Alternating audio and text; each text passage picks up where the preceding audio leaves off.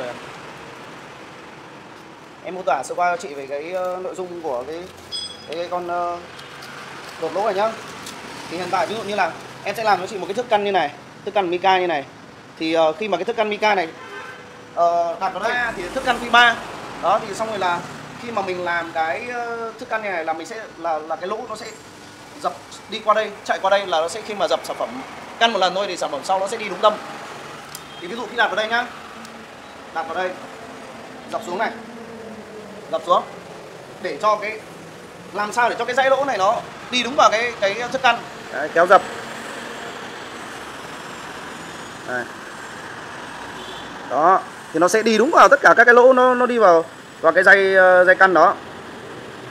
Rồi thì khi khi mà làm như này nó sẽ chạy theo đúng cái dây đấy thì nó sẽ đúng tâm. Sau khi mà đúng tâm như thế là chỉ chỉ việc là là siết cái bốn cái con bu lông ở bốn góc này. Đây, nó có bốn con đó. Thì kẹp cái kẹp vào xong siết vào. Thì là với cái khuôn cái khuôn này là chị có thể là căn theo lối như thế nhá. Xong đó ví dụ như là chị ờ, muốn dập cái dây mà nó lớn hơn, vẫn là cùng một size như thế thì chị chị sẽ xoáy cái tay cầm. Cái này nó sẽ là xoáy ra xoáy vào này.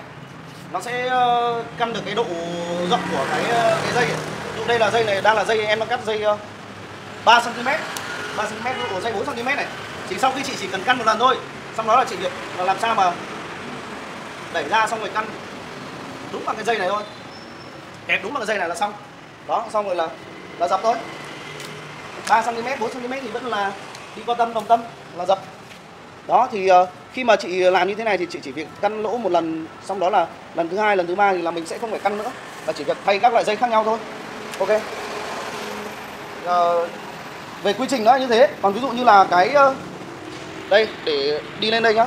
Thì cái lực để mà dập đột ấy, làm sao mà cho nó nhẹ nhất ấy. ở trên phương diện là cái tay cầm là nó sẽ ở trên hướng như này và chạy gần hết hành trình.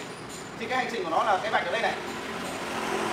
Chạy gần hết hành trình thì là lúc đấy là cái lực dập của mình nó nhẹ nhàng nhất và mình sẽ có lực lớn nhất. Đó.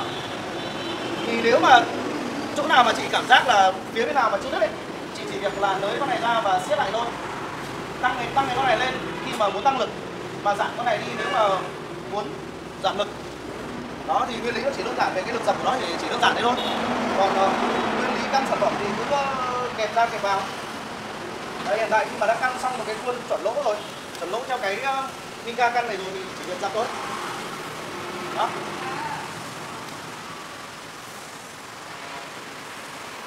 Còn cái thớt này thì uh, một thời gian xong là mình sẽ phải thay cái thớt khác. Thì chắc là chị sẽ uh, bên đấy chị sẽ uh, ra chợ rồi thì đặt đặt sẵn trước các cái loại thớt như này này là sẵn trước khoảng chục miếng, hai chục miếng đấy. Nó rẻ thôi. Xong đến là về là gắn vào thôi.